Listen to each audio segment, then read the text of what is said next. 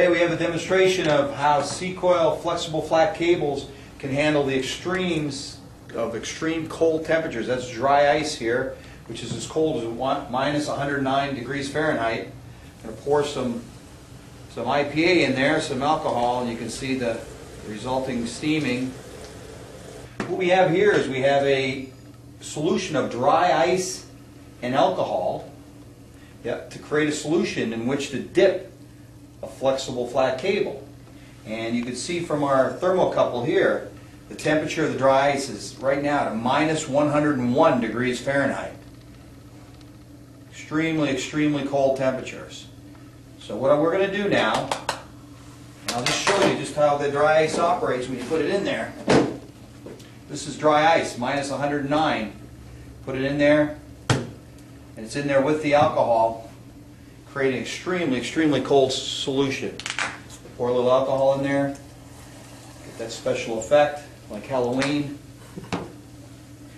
There you go, extremely, extremely cold. So now what we're going to do is we're going to take three flat cables and put them in there and keep them in there. First we're going to put a, a Teflon jacketed cable, just Teflon jacketed, we're going to put that in there.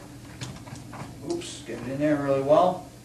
Next we're going to put a PVC ribbon cable in that extreme temperature, minus 102 degree solution. And then finally we're going to put in the Cicoil silicone clear flexible flat cable. We're going to put that in there as well. We'll put all of them in there.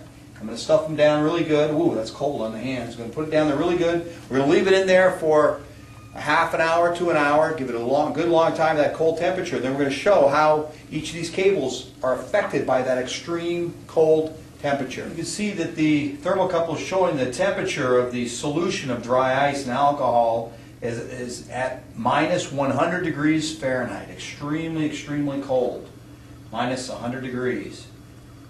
And what we've done is we've left the three different types of cables in there for 20 minutes. You've got the PVC cable, the Teflon flat cable, and of course the Cicoil silicone flat cable.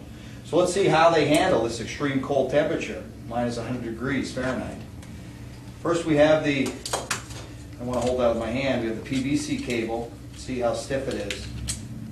Oh, it's very, very stiff. Can't even bend it at all. If you try to bend it, it's actually going to crack very easily. You can see that. You heard it crack can see the jacket is all cracked. So the PVC cable cannot handle that cold temperature. Let's try now the, the Teflon jacketed cable. See where it was in the dry ice. Let's try to bend this and see how it handles the cold temperature. Oh, it's very stiff. You can't even bend it at all. Oh, it's really, same thing, cracks. Totally inflexible at those low temperatures.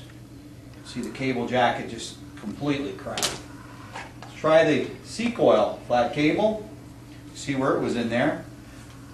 And it is much more flexible. You can see that, totally flexible. I'm bending it right over on itself.